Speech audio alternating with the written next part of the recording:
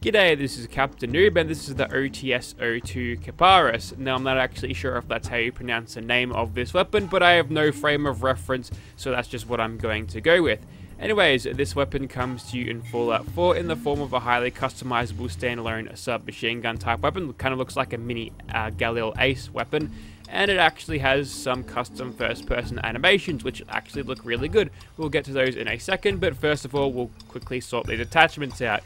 Now, the submachine gun here has a uh, option for both semi-auto and auto alike. We're going to make this one auto, but it's worth mentioning that there, that's an option. We'll definitely be creating another one of these just with semi-auto instead and we'll go for a reflex sight for our optic there for better focus and sighted accuracy that's the stock standard basically get better AP usage per shot and VATS anyways so this next one uh, the muzzle slot here we'll definitely put a suppressor on no reason to explain that again. I've explained that a hundred times, and we'll go for a large quick eject mag because, again, self-explanatory. Now, for the caliber conversion here, we can bump this from 105 to 128 damage using the 10mm caliber conversion there, so that's pretty awesome. Moving on from that, we can change the zoom in a little bit, so we can have a no zoom if we feel like it, or we could zoom in a little bit. That actually gives you a tiny bit of accuracy, so you might actually find yourself having an easier time hitting stuff in VATS if you put this all the way up to 3.5. Although being a submachine gun, that's probably pushing it in terms of zoom. You don't really want to go over two times when it comes to submachine guns. You can change the reticule of that reflex sight, so we'll go for a chevron. Nice.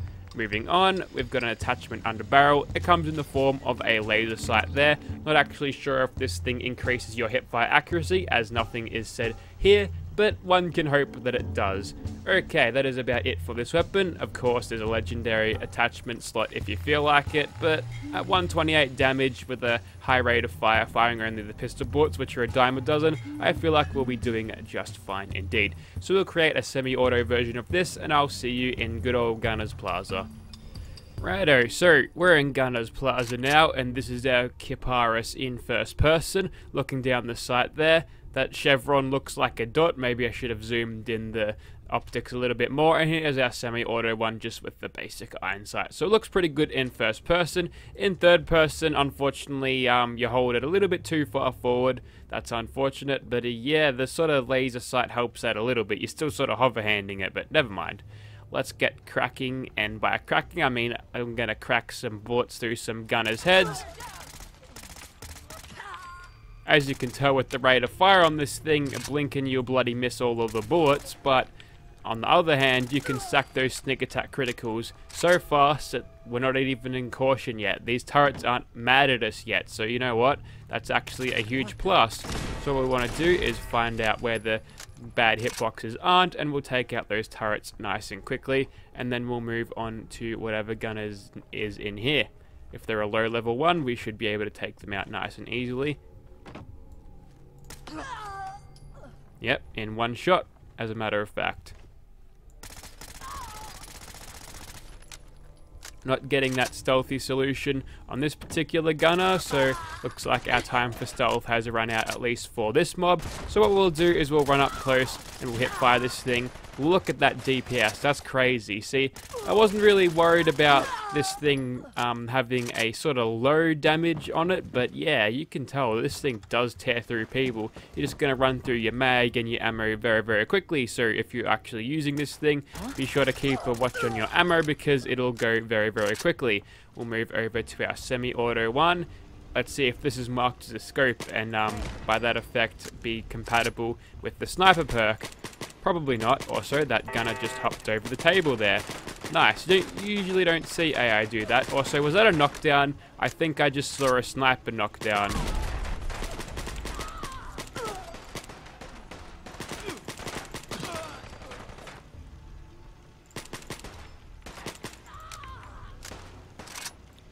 So, so far so good. Haven't really been attacked. Bridget got taken down there by the turret. The turret explosion does cause ragdolling sometimes. So let's just open up in VATS a little bit. As you can tell, we get a decent VATS um, AP usage with this thing.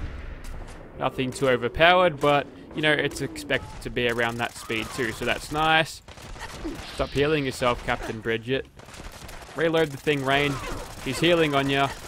Okay, we got her, we got her. Okay, let's just pull back a bit because we're being hammered here. Okay. Might as well just hide in this toilet. Fading out of danger now. Oh, that was close.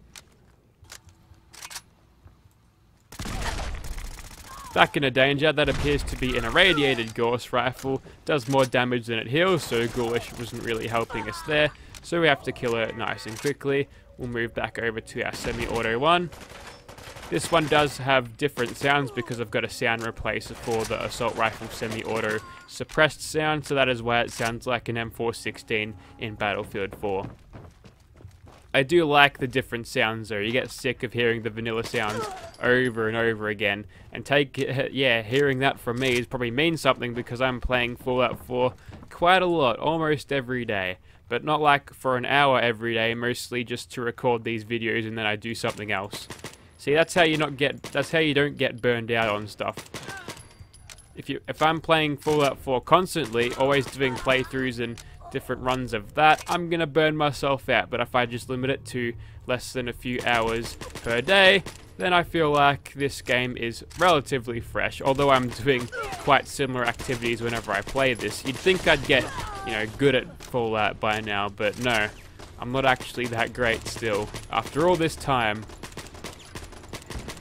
Looks like we found out what the range limitations are like, and they are not great. So again, that's another reason not to chuck on the super rangy um, zoom sights on this thing, because it'll just screw you over. Um, it'll make you want to stay back, and then you'll be getting less damage efficiency per bullet, and that's no good, especially if you're playing survival, where your ammo is more limited than it is on softcore. Righto, so in Gunner's Plaza we did pretty well. The submachine gun held up pretty well. Getting those sneak attack criticals was devastating, but even without them we were able to hold our own quite well still. We'll move on to some tougher monsters. Righto, so we're in Fallon's department store. Chockers full of super mutants. We'll sneak this thing up and see how well we can go. Now I really hope Fallout 76 has more build diversity than uh, Fallout 4 does, and you might be asking, um, why I might say such a thing, and there's plenty of Fallout diverse uh, build diversity in Fallout 4, and I'm talking about like really end game powerful stuff. I mean, sure you've got. We'll try to go for a collat here actually.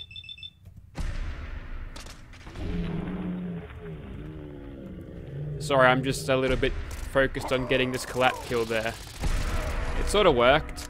Please don't detect me. We'll shoot you in the head so it doesn't detect us.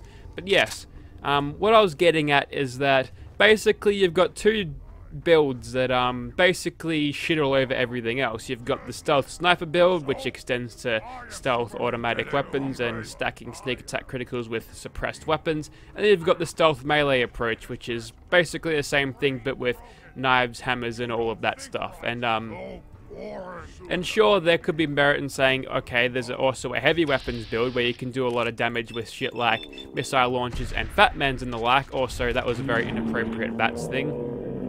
Um, but then again, you could, with getting like 900 damage with that VATS burst with sneak attack criticals, what's the point of carrying a 20 pound plus um, rocket launcher when you can just do that with a couple of 10 millimeter bullets, right?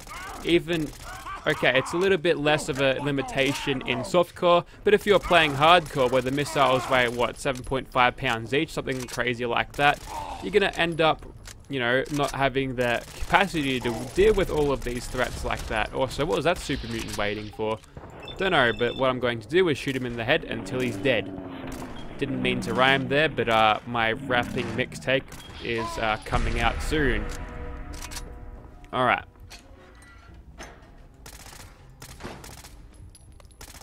Maybe they'll figure out a way how to make stealth and sneak attack crits not being the most powerful thing, and maybe people will gravitate more towards the big explosive weapons if uh, the ammo doesn't have weight, but if it does, people might just think, well, screw this, it's better just to carry around some sort of higher level rifle and lots of bullets for that instead. So in a way, I'm sort of hoping that ammo doesn't have weight in Fallout 76. I haven't actually looked into that to see whether that is a thing that's actually going to happen, but if it isn't, oh, we do get sniper knockdowns with this. That's excellent.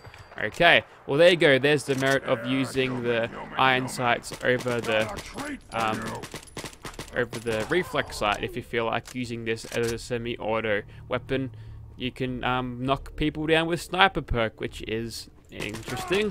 One, this doesn't even have a scope, and two, it's not a rifle. So uh, yeah, um, figure that one out, Todd Howard. I'll, I'll leave that one to you. Rounding up the last couple of super mutants now. We've got ourselves detected, so we'll get some more. Hopefully, we'll get some more knockdowns. There we go. See, it's got a 15% chance, and uh, we're not really procking that all that much, which is kind of interesting. Maybe it's just bad RNG. It's probably just bad RNG. RNG, sorry. At least this super mutant knows where he came from, but how would he have any idea that he needs to find the green stuff? Wasn't he knocked out when he was something something happened in the institute with him? How would they know about it? What's what's their go? It's obvious that the super mutants in Fallout 3 had their goals of finding more green stuff to create more of them because of obviously that's where they were created. They could go back there and see, but the super mutants in the Commonwealth, they're not going back into the Institute, so how do they know? Maybe they came into contact with some wandering band of super mutants from Fallout 3 and they got past their differences, one being a lot more bulky and thick, the other ones are just basically giant pieces of muscle. And they said, hey, we super mutant too, we need find, ooh, explosive hunting rifle, nice. But um, yes, we we super mutant with explosive hunting rifle. We need more of us to fight human threat because we're smarter than humans. And then the maybe the Fallout 3 super mutant said, "All right, well we, we got to find more green stuff. There's this stuff called green stuff, and it makes us more, makes more of us. So you got to find that, and you got to find it everywhere. We didn't find too much of it in the Capital Wasteland, so maybe we got we went up here um, we'd find stuff, and then I'm getting carried away with super mutant lore theories here, so uh, apologies for that. I'll probably just shoot something now, keep you all happy. Okay, it's time to fight Swan, except I'm now starting where Swan starts, and Swan just couldn't find his pathing back here, so that is why I'm standing over here. Okay, we'll get stuck into him with some sneak attack criticals. So far, so good. For doing this much damage to him, I feel like the health bar is going down faster than it usually does, which is kind of interesting. Anyways, as he comes closer, we'll be able to get more of an advantage of this thing's limited range there. And if we can nail some cheeky little headshots along with that, then it'll make for some good damage against him. We'll go for some VAT shots here, let concentrated fire pick up the slack, because you know what? I feel like not playing my game. I'm going to let the game play itself for me for a bit. Okay, back into it now. This one appears to be um, not figuring out how to take a step forward, so we can basically demonstrate um, this thing's sneak attack crit damage on a targeting dummy. This is basically the same as shooting at that guy in um, that sanctuary place in Borderlands 2 where Marcus's shop is. You get, he gets you to test all the elemental weapons on him and then there's just an invincible dummy for you to see um, what kind of damage you can do to stuff. That's use one. You're just a, you're not even an AI, you're just an inanimate object used to test damaging on. And I guess that kind of goes um, even when he is moving too. Sometimes he might hit you, he might hit you a few times, but you just get him with sneak attack criticals, and you know that that's about it for him. So you know what? I think that is about enough of this weapon. So that was the OTS 02 Kiparis, and it is a pretty decent weapon. I do like the animations. The reload animations are just submachine gun in uh, third person, but that sort of works to it. You're not going to really pay attention all that much to a reload, especially when you're looking at it from this sort of angle there. So it works fine, even though the third person animations really do not. But that's forgivable. I, I, I see that's fine. Okay, so it'll be in the link in a description. Oh, also, there's a Mythic Deathclaw you didn't quite get to kill. Swan was about to kill this person, but then I interrupted their fight. I saved your life. Also, that's really weird. A Deathclaw's death animation ragdolls giant super mutant behemoths. You learn something new every day. That is why I keep playing Fallout 4 for just a little bit every day. You, there's just a possibility that you might learn something new. Thank you for watching, guys.